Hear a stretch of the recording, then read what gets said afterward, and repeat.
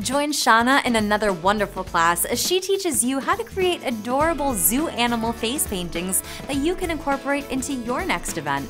In this class, Shawna shows you how she makes a cute, over the eye elephant, a cheerful frog, and other charming designs that are sure to catch people's attention. So grab your brushes, your practice tools, and get ready to learn with Shawna and her adorable zoo animals.